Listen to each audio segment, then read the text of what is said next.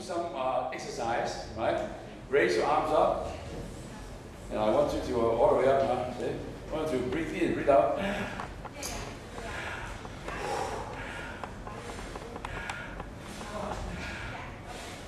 Do not press your chest down. Don't do that, huh? The reason why you raise your arms is that you have a chance not to allow your chest cage to, to upset the airflow, which is regulated by your diaphragm. Like this. Only rock and roll and opera stars will, will press like that. okay? Okay, then lower your arms, lower your arms to a good position and still maintaining the rib cage in that same position as you were, your hands were up, okay, like that. Now then, you begin to sing using this uh, posture. Uh, the rib cage should not move until absolutely necessary, okay?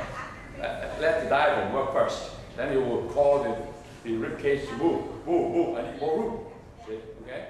Now I'm going to work with you. So with your chest cage established, the high, medium high position, and with your diaphragm leading in the breathing out process, right? The uh, rib cage follows co the command of the diaphragm. Uh, you begin to sing. Huh? So don't move your rib cage at all. In fact, I practiced with my arms up for a few years before I learned how to use it very effectively. Okay. Go.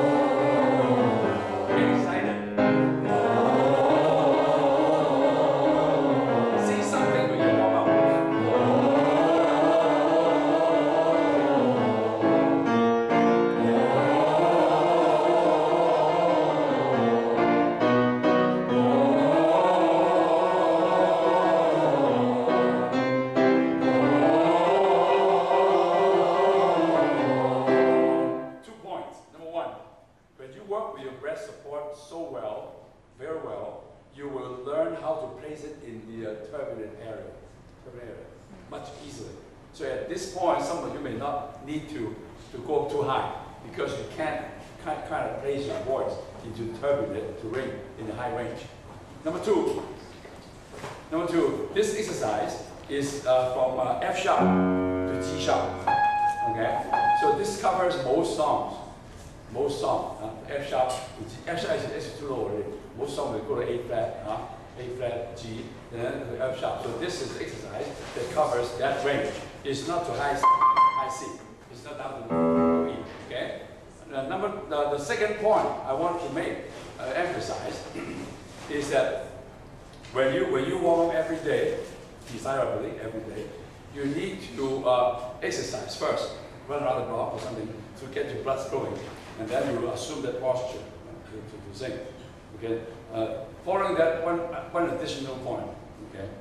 Uh, when you warm up, uh, you need to uh, give support enough so that this tightening would not happen. Unless it's extremely high, because this tightening happens only in about like around that range. Most of you will begin to have to, the vocal folds, because of the length of it, it's not convenient to play, to sing those high notes.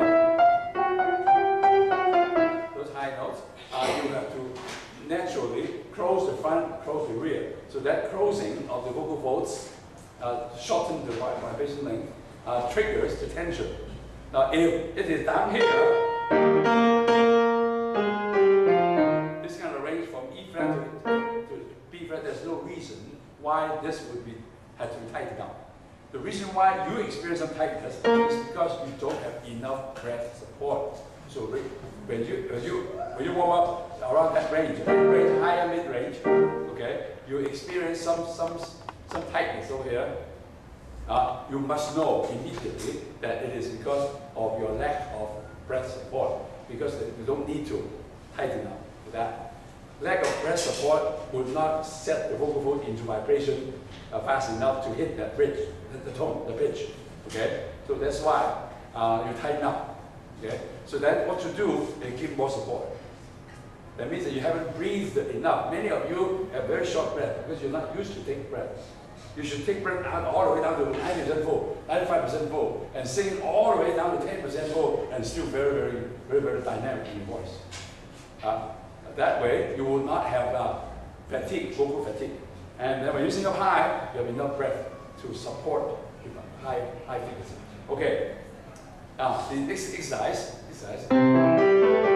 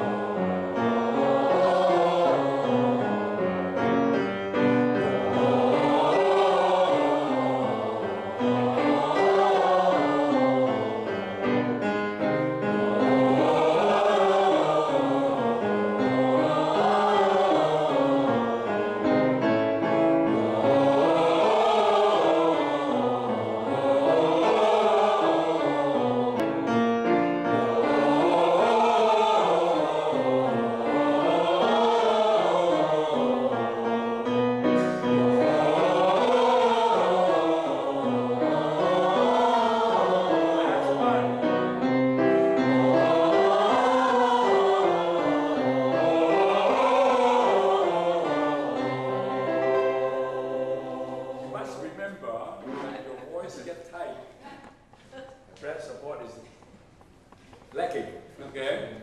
And uh, if, of course, when it gets high, like E and F, is natural, it will tighten, up. So what you do is give support, okay? Support should not come from your chest cage, it should come from diaphragm. Chest cage, press down, the diaphragm can adjust the uh, question of your rib cage. Now, in addition to giving you an even flow of support, that's, that's not easy, okay? Right, turn up.